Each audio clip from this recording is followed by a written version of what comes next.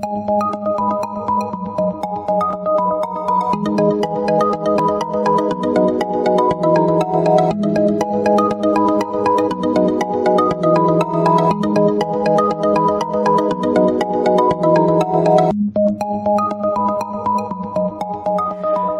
Capricorn, this is your forecast for the month of May 2018.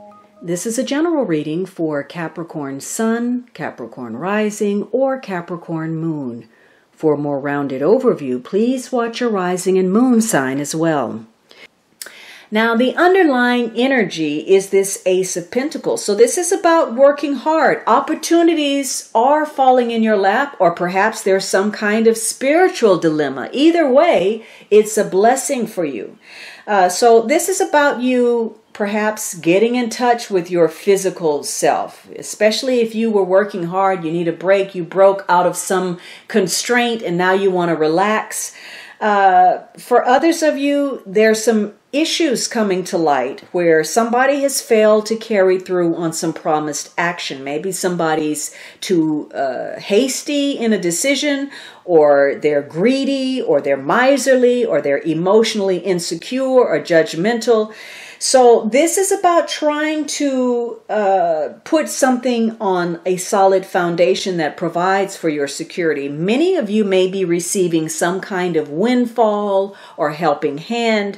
Perhaps your health will improve uh, because you're being very practical. You're working hard. And so this could be the beginning that you just start to see uh, of the effort that you put in. Maybe you want to have some enjoyment, you want some comfort, and you're focused on the physical or prosperity. This may come in the form of that job offer or salary increase or something that you win or a new opportunity or perhaps you start some new enterprise. But the flow of capital is beginning. So you get some kind of financial uh, advantage that may come in the form of success recognition, promotion, or career change. Perhaps this is tied to the internet somehow. Now, if you're involved, you know, as far as a love relationship, perhaps, you know, you're suddenly falling in love, there's a lot of chemistry, or maybe you're drawn to somebody because of their status, what it can afford you, their power, their money, Maybe you're working with your partner toward a financial goal, or maybe you're working out with your partner physically. For some of you, there are issues connected to intimacy and whether you want to surrender to those uh, sensual instincts. Uh, so this there's an opportunity for you to meet somebody new. Something may come in out of the blue, some offer uh, whether that's romantic or business. And it may come about in any number of ways when you least expect it, when you're going about your daily business. Maybe you're making a large purchase, you're repairing something, you're buying something, you're changing your routine, you're at work, something out of the blue where you meet somebody.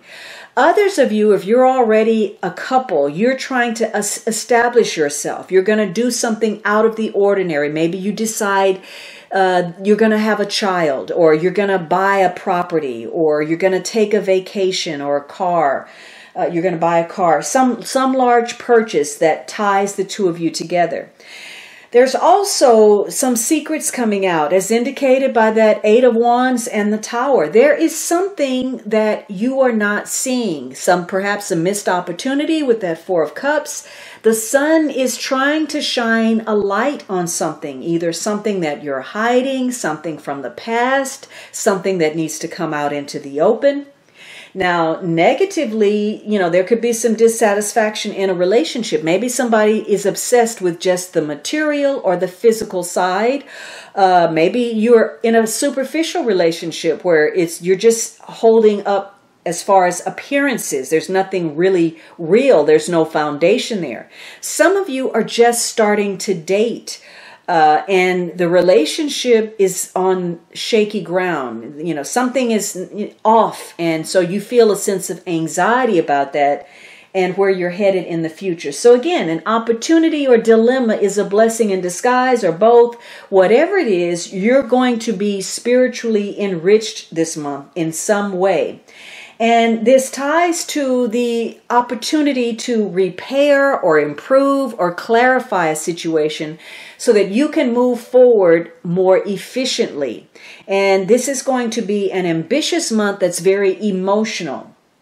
And your decisions are going to be driven by your sense of security, your sense of belonging, whether your foundation is solid, and what provides for your security and what your sense of belonging, your connection to others are. You have the two major cards, the Tower and the Sun, which is will occur in the middle of the month. Again, you are feeling pressure to be successful, or there's some uh, something hidden is coming to light, or there's some health concerns. But there are, in spite of that Eight of Wands, there are some communication issues. Uh, you know, somebody's being illogical or impractical or irrational, or somebody's not accepting communication.